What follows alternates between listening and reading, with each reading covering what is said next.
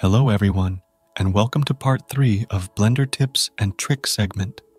Today, we're going to learn how to align vertices along a specific axis. Most of the time we do it manually. It is very much time consuming, and sometimes a minimal error is created while you do it by yourself. Let me tell you how to do it in a fast and easy way.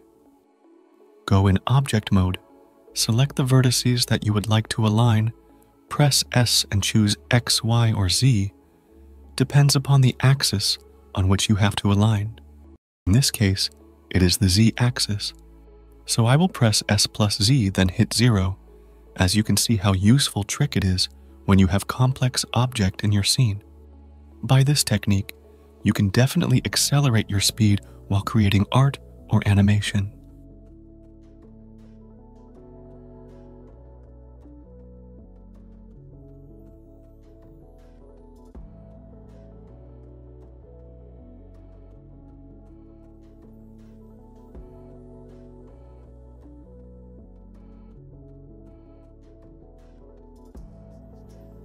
I hope you like this video.